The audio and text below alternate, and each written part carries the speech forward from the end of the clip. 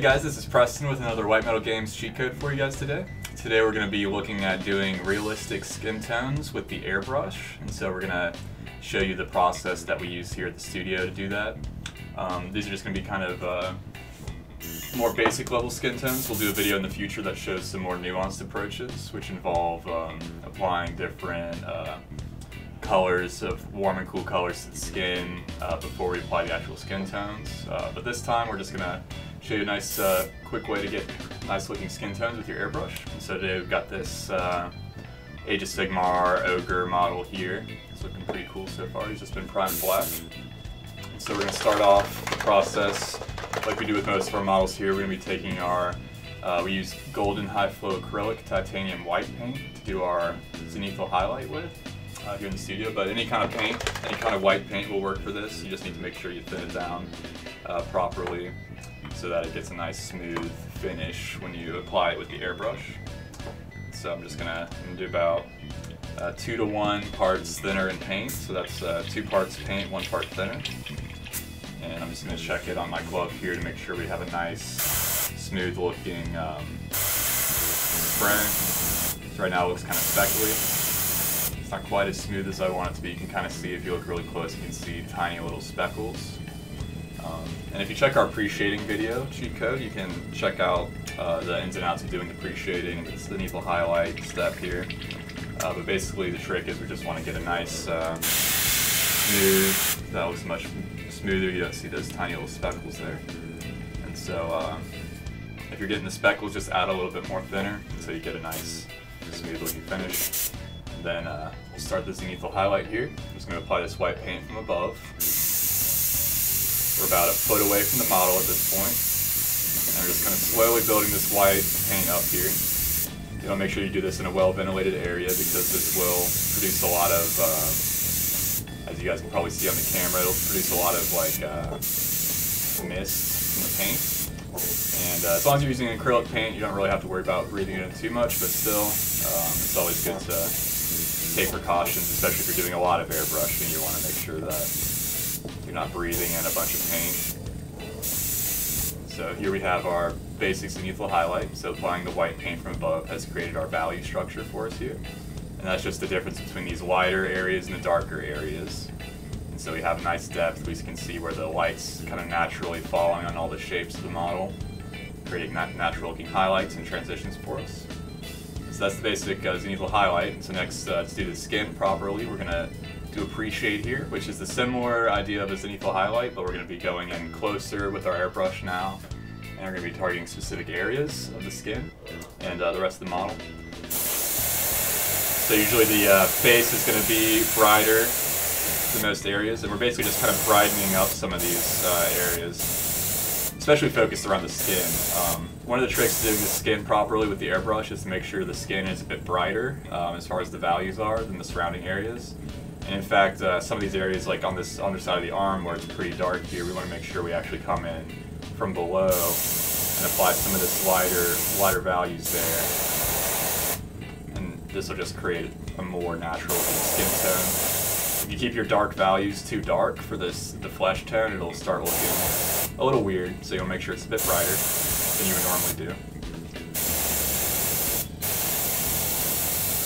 So the, as a general rule of thumb, the skin is going to be brighter than, going to be one of the brighter parts of the model. So with that in mind, we want to make sure that we apply our pre-shade mostly to the skin. Just brighten that up nicely.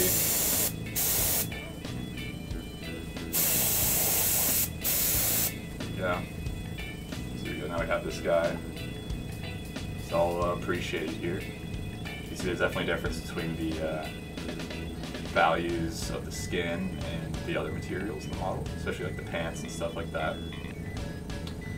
And so, uh, so now that we have our uh, pre-shade on there, start applying our flesh tones. And with this technique, we're going to be doing like a, what we call an underspray and overspray technique. And so what that means is uh, the underspray, we'll kind of be applying it with the airbrush from beneath, and then afterwards we'll come in with the overspray where we're applying it from above.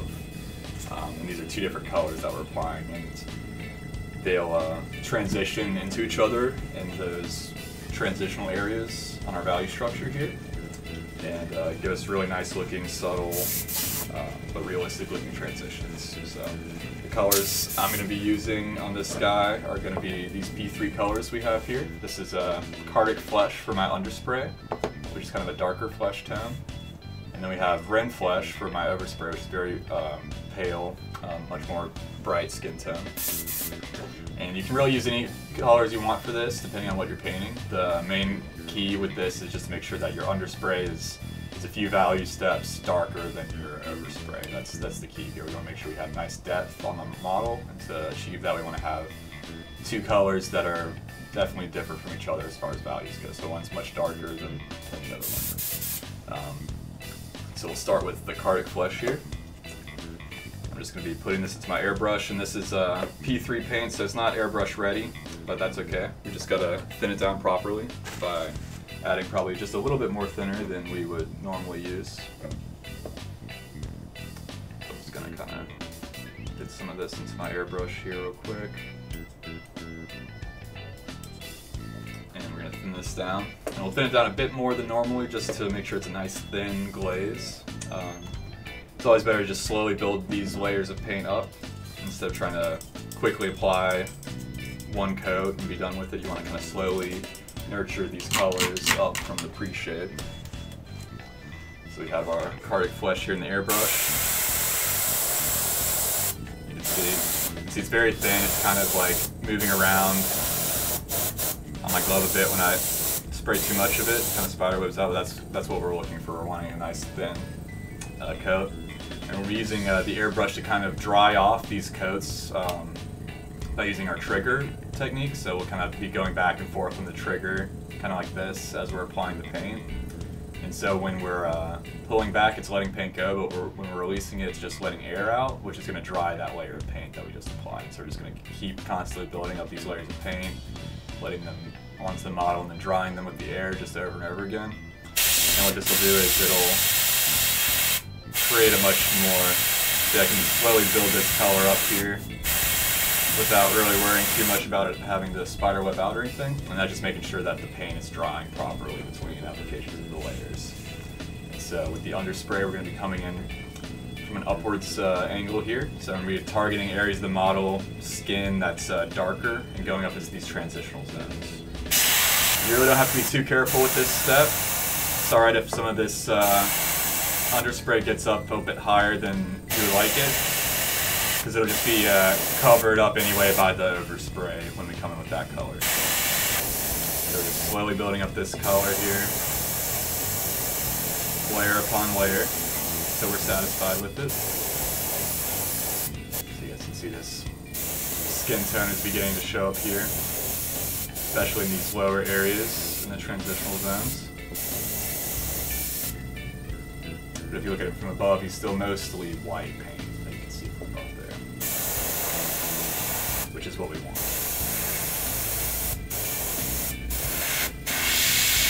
So you just want to make sure you get into the recesses here, like this little recess in his neck. We want this to be the darker skin tone.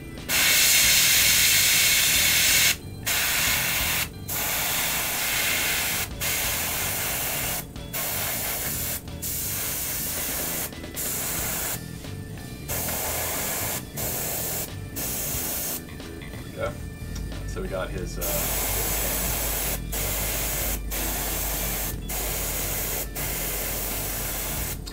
right, so got the uh, the first skin tone down here, and you can st still see that our values from the pre-shade are coming through. Still, you can see you'll see these differences between the light and dark areas. And we're maintaining that by just making sure that our paint's nice and thin, our flesh tone paint, so that the uh, white and black paint underneath will still kind of shine through the semi-translucent glaze.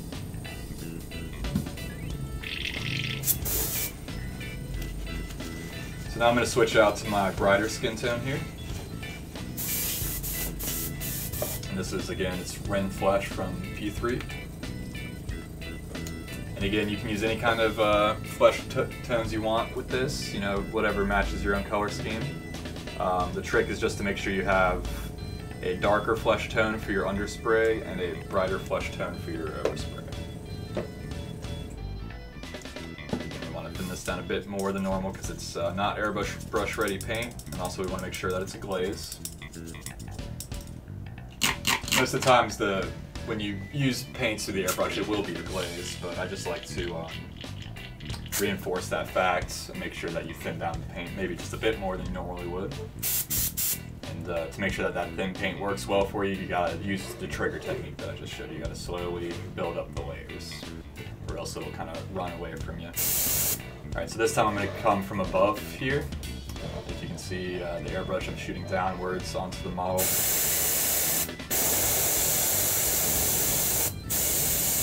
When I do this, this will just um, settle on all the raised areas, the shapes. And it'll kind of uh, intermingle with our first uh, color that we applied, the Khardic Flesh, in those transitional zones.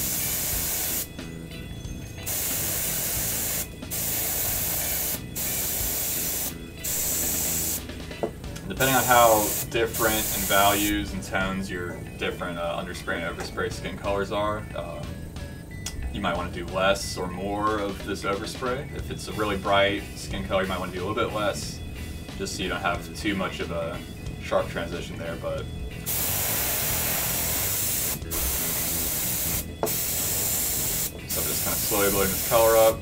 Main key is just to make sure we get rid of any kind of grayish tones that are coming through. I'll make sure it's all fleshy, so none of our pre-shade is still coming through. yet the values are still there. And they're just reinforced by this brighter paint color. So now you guys can see we've got this uh, big suite of uh, different colors here. We've got this bright skin tone going all the way down to these darker skin tones in the recesses. And that gives us nice depth in our skin tones, which looks really good. And so uh, now at this point, uh, we'd like to apply a wash to it. And there's a couple ways to go about doing this, and I'll kind of show you guys both ways we like to do. Um, one way is, uh, well, firstly, the color we're going to be using is going to be this Army Painter Flesh Wash, and it's just kind of like a reddish, brownish uh, wash, similar to like Games Workshop's Reikland Flesh Shade or something like that. Um, and so you can either apply this as a as a full kind of like mop wash, as you might call it, um, on the whole skin of the model uh, by by brush, by hand brush, and if you do that, you just want to make sure that you thin down the, the wash a bit, just so that it won't uh, pool on the raised areas of the skin in odd ways. Um, and this will just reinforce, much like how our overspray reinforced the brighter values, this is going to reinforce the darker values because it's going to kind of darken things up.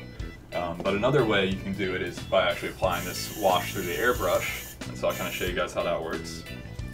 Um, very similarly to applying any other kind of paint through the airbrush. It's just that we're not going to use any kind of thinner or anything this time. Because uh, the wash is already very thin. We don't really need to thin it down anymore. We're just going to put it straight into our airbrush.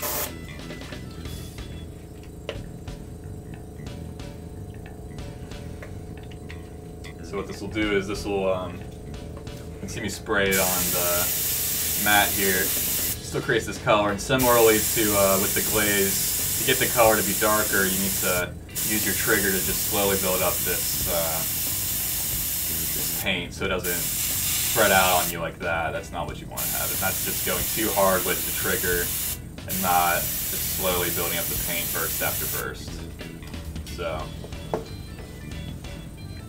usually we'll be doing kind of the similar technique that we did with the underspray. We're going to be aiming upwards onto the model and aiming for those recessed areas, and this will just kind of tint the skin in certain areas.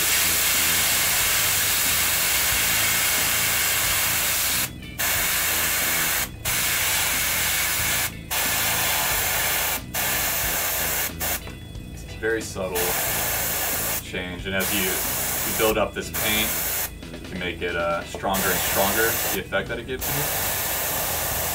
It gives us a very nice subtle look on the skin.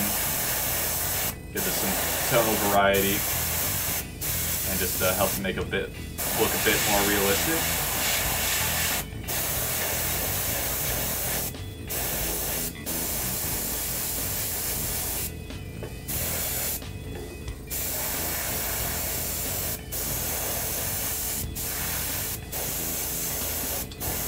So sometimes I like doing this instead of doing the wash by brush, just because we can get these really smooth, cool looking transitions and stuff. But for areas like the tops of his arms here, we, where we have these kind of crevices in the muscles, you can't really get the wash in there but with the airbrush too well.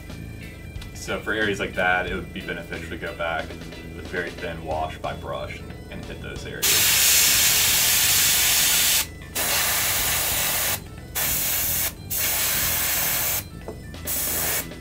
After this, we can go in and do some highlights by brush and all that stuff to really bring the skin up. Uh, but this is a, just a quick way to get some nice looking natural skin tones by airbrush relatively quickly. Just took me about 10 minutes or so to do this guy. So um, I hope you guys enjoyed it. And uh, we'll probably come back and do some brush washes and stuff on them, but you all know how to do that, so I won't have that part in the video. Uh, this is just mainly the airbrushing stuff. So hope you guys enjoyed it. Um, like always, check back with us regularly for our new cheat code videos. We're coming out with them all the time. And uh, like always, put your hands where your mouth is. Thanks for watching.